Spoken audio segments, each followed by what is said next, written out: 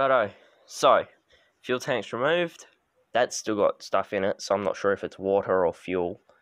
Uh, we'll find out in due course when I take it out. I sh it should be fuel. It just depends how much water actually got into the intake. And because we weren't intending on using this anymore because we went and got the brand new yard force, eh, this is going to be a pain in the ass. So, I've got the fuel tank off now I can get better access to get this shroud off. I'm going to keep taking the shroud off, and we'll go from there. Right, with the shroud removed, I'm going to take the plug out. Then the plug's out the way. That should give us a better indication as if, to, if there's water in it. Yeah, the plug's soaked, so there's definitely water in it. Crap. Righto, off with the rocker covers is. They were going to come off regardless. Um, it's just four 10mm bolts. I had to take the top two ones out to get the shroud off. Because they were also holding the shroud down. Another reason that I wasn't getting spark was the uh, condition of that flywheel. If I can get it to focus. flash is supposed to be on uh, that help. Yeah, you can see all the rust on the flywheel as well. So I'll have to clean that up a little bit um, before I try and use it. I'm just going to focus on getting the rocker covers off. Or the rocker cover off. There's only one. Whoop. Dropped one. And then, oh, I can't be bothered. I'm just going to use a socket to do it. It's easier.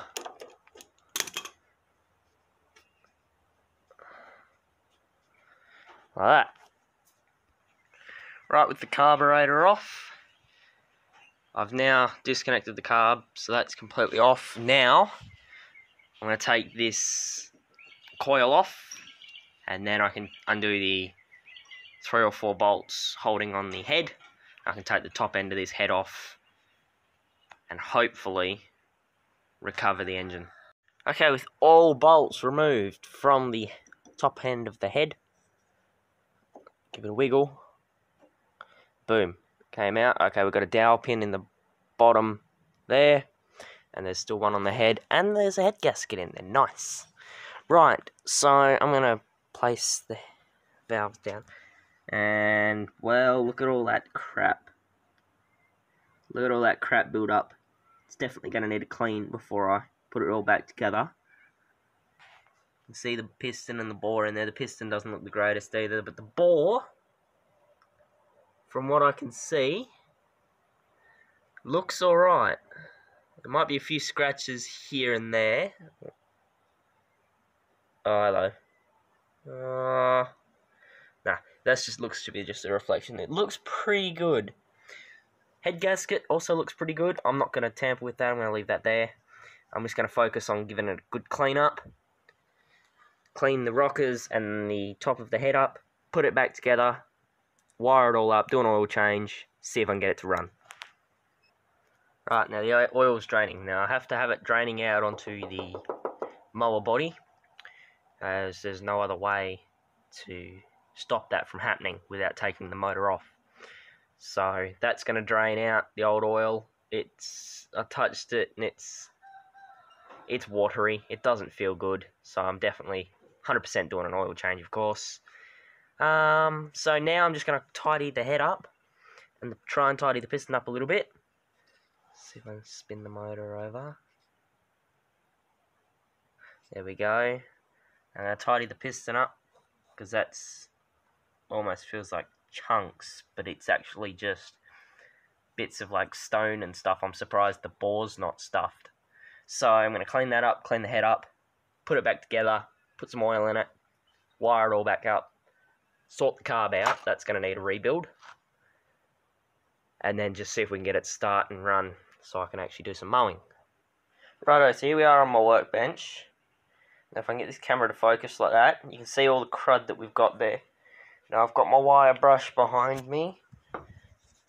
I'm just going to go around, I'm going to do that, give it a clean, try and get all that off. I have to try and get off as best as I can which may end up needing to pop the valves out. We'll see what happens. So I just spent five minutes cleaning this up. Come on, focus. I'm filming this with my phone, so if it goes crappy, I sorry. You can see these little chunks here. Now I may end up having to get the screwdriver to get them off because I cannot get them with the wire brush. I'm not sure if they're like I'd say they're carbon deposits by the looks of that, but it's hard to tell. So right, so hang on. Right, that's about as best as I can get it. It's clean nonetheless. Now I'm going to work on the piston, hopefully get that cleaned up a little bit. Then I can look at reinstalling everything. Now we move on to the tricky part, which is trying to sort this carb out.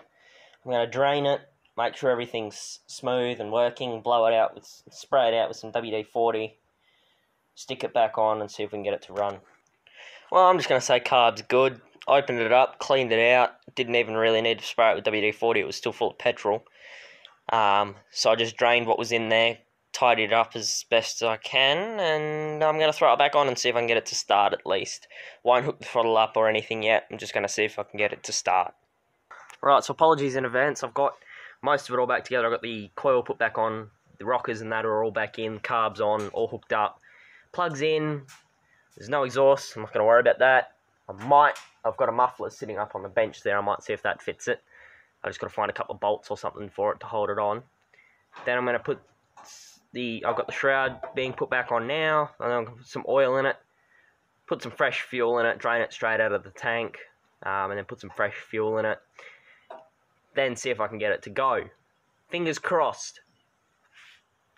Righto, so the whole engine's put back together. All that's left to do now is get the pull start back on, which won't be too hard. It's just a few bolts, and then that's on. I may replace that handle at some stage. It just all depends on whether or not I can get it going. And, uh, I mean, it's not like I particularly need this mower. I'm just getting it going because it's got just the tiniest bit more power than the new one we got. This one's a 170cc motor. That one's only 130. So we're getting a little bit more power out of this but out of this old girl.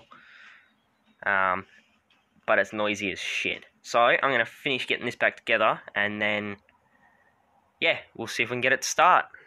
Right, just going to wheel it out. I'm going to fill it with oil. It's got fuel.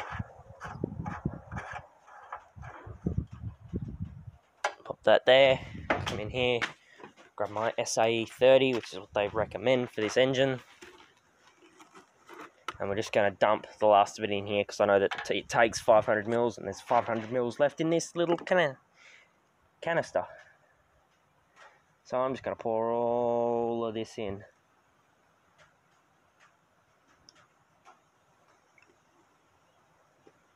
Way overflowed, overflowed a little bit just because I was pouring too quickly.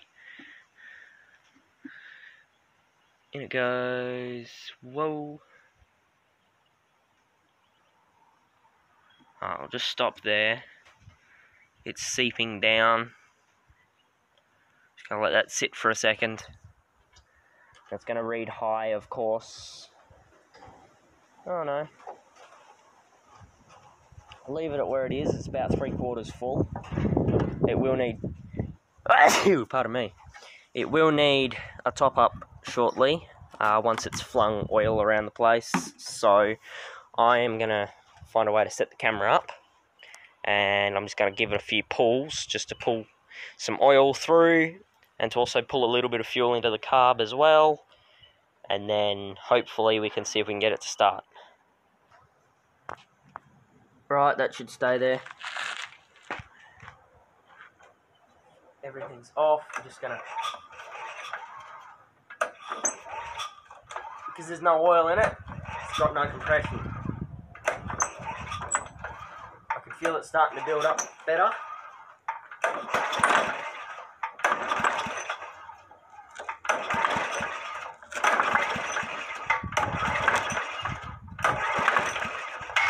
Alright, that's pulled some oil through, should have pulled some oil through. I'm just going to double check our meter.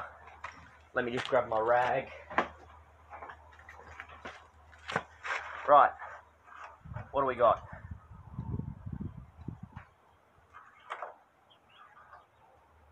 Yeah, that'll do. She's good.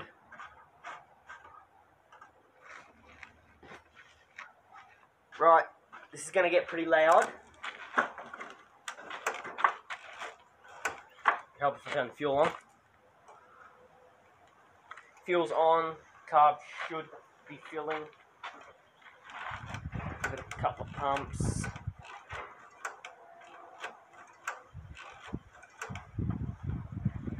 And let's see what happens. Let's move that. Fingers crossed. Fingers crossed.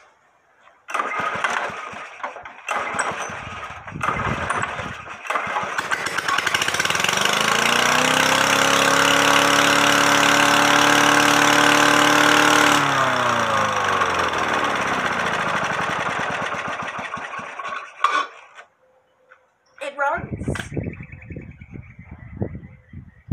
So apart from it having no, spark and getting bugger all fuel, I'm not sure what it was that stopped it from running last time.